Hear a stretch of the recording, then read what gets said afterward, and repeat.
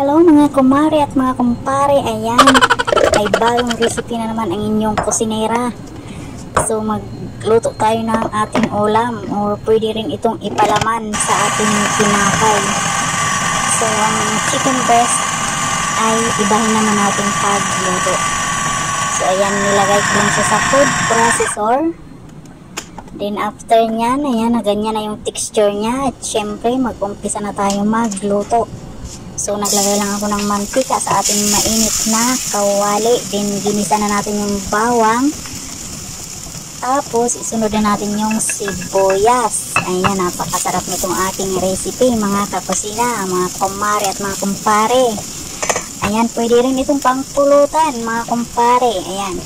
So, nilagay na natin yung ating chicken breast na sobrang dikit. Pero maghihiwalay din yan, katulad ng Aham, alam, alam nyo na. Sobrang dikit, pero maghihiwalay din yan mamaya.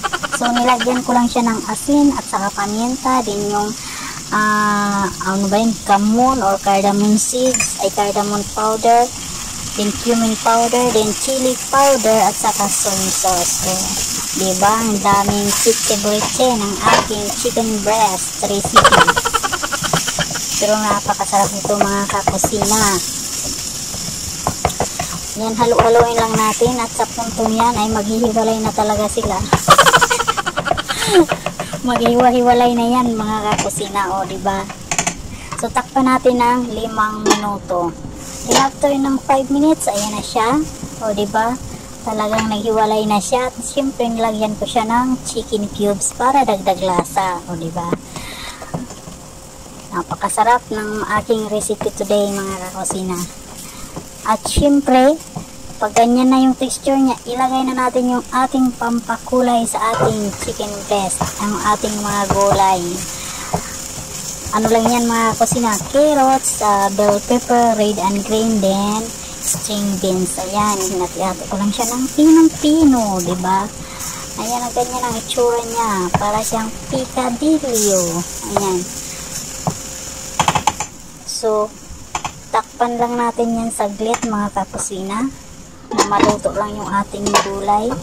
At ayan na kumulo na siya. Pero wala na siyang sabaw mga kakusina. Dry na dry na siya.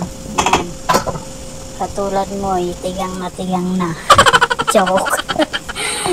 Char char lang mga kakusina. Ayan nilagyan ko siya mga kakusina ng sugar. Kasi mukhang ang, ang, ang hangan ako ng aking nilagay na chili powder So, ayan, ready na yan mga kakusina din. Ilipat na natin siya sa ating uh, bowl. So, ayan na siya mga kakusina. Diba? Tuyong tuyo siya. Wala siyang sabaw. So, pero hatiin ko yan mga kakusina kasi yung kalahati ulamin namin. Tapos yung kahalahati ipalaman ko sa kubos.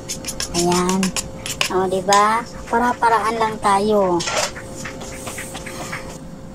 ayan na yung tinira ko sa ulamin namin, namin. Tapos yung tira ay lagyan ko siya ng 2 tablespoon ng mayonnaise at saka 1 tablespoon ng cream cheese. Ayan. So, halo-haloin ko lang yan. Then, ready ko na yan ipalaman sa ating kubos.